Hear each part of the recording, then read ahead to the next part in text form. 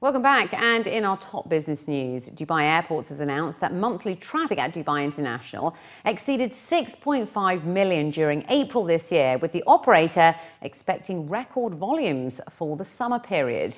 According to a press statement, Dubai International welcomed 26.1 million passengers during the first four months of the year, registering a 6.5% increase over 24.5 million passengers recorded during the same period last year. Passenger arrivals witnessed a 5.7% increase in April alone, with 6.5 million over 6.15 million passengers arriving last year, which also makes it the third time in the last four months that the figures have reached above 6.5 million. Eastern Europe achieved the highest growth rate during April, with routes to the region registering a surge of 74.6%, driven mainly by Fly Dubai's new services to Slovakia, Bosnia, Bulgaria and Croatia. In terms of passenger numbers, the Indian subcontinent outperformed the rest of the region with an increase of 167,652 passengers, followed by the GCC increasing by 92,069 passengers, and then Western Europe with 65,175 passengers.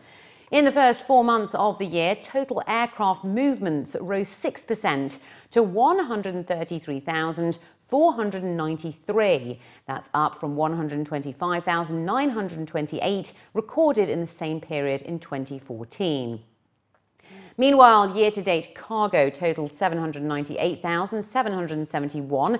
That's a contraction of 4.7% compared to 837,837 during the first four months of 2014.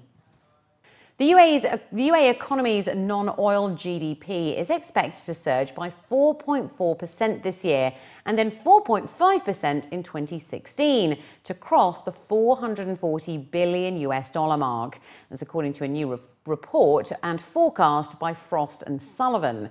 According to the new study, robust non-oil activities, greater public sector spending and huge foreign reserves will propel the UAE's economic growth by 4.4% to 440.18 billion US dollars in 2015.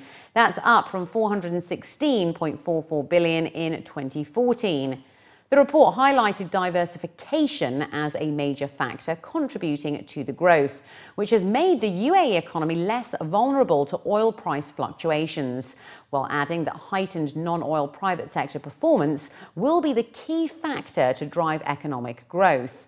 The report, however, appears to be more bullish compared to the World Bank estimates that the UAE's real GDP growth should slow from 4.7% in 2014 to 3.1% in 2015 due to a decline in oil prices.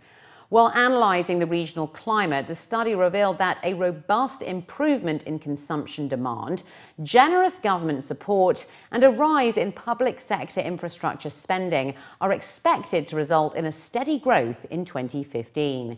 However, implementing pragmatic macroeconomic policies to stabilize global oil prices at 50 US dollars to 60 per barrel is likely to remain a key challenge to revenue growth.